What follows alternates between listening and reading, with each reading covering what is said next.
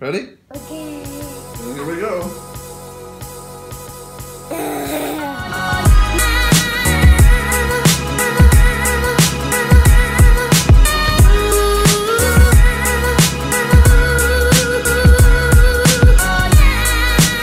What are you doing right now? Who's about to switch out a tube? Who's about to switch out a tube here? About to pop the back off of this thing? Pop in a new Electro-Harmonix preamp tube. I don't really know what I'm doing.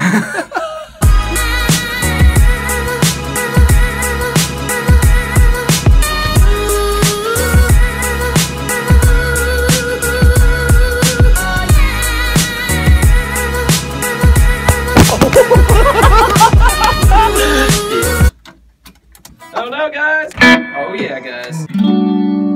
Dude, it's beautiful. No hissy fit. No schnickel frets. it sounds a lot better.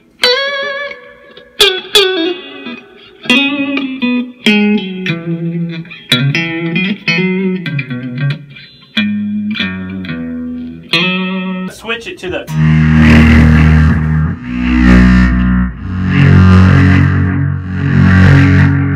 It gives us somewhere to go. Right. Right? I agree. I'm in. Um, let's go ahead and try it again, Mark. Like like yeah like that kind of thing. I'm sure. Like uh straight down to like that.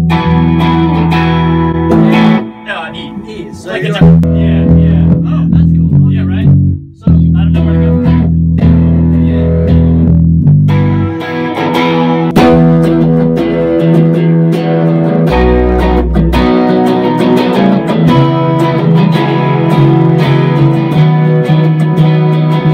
Last week, I had a really cool opportunity to attend Oscillation Transia Film Festival. So this was just outside of Montgomery and in a little town called Spectre. And for those of you guys who don't know, Spectre is the town that was created for Tim Burton's Big Fish uh, with Ewan McGregor.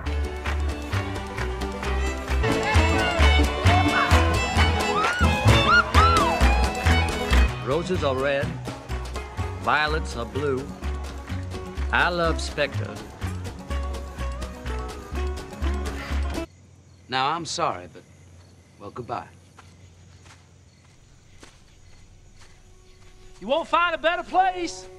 I don't expect. And it was a really, really cool um, thing because the town of Spectre that's in Big Fish as a movie set is actually still there today. This is a movie that I used to watch all the time. I, it came out, I think, in 2003 or so, and it was a movie that I would watch over and over again. And then because I would watch it so much, it was so surreal actually being in the town there. I was invited um, to attend, and um, the way that they do everything is really unique. It's really cool. They raised funds uh, in order to travel the nation to uh, put on this traveling film festival.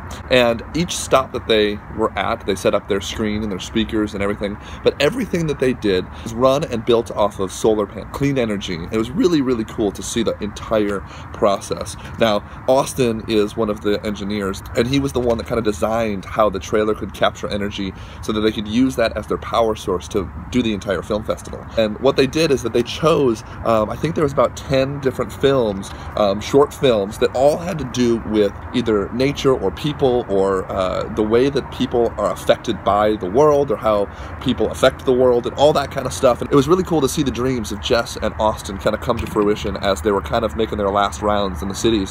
So it was really a great experience. So I'm going to link these guys below for the Oscillation Transia Film Fest. You guys should definitely check them out, see what they're about. They're doing some really cool things, and I can't wait for next year's.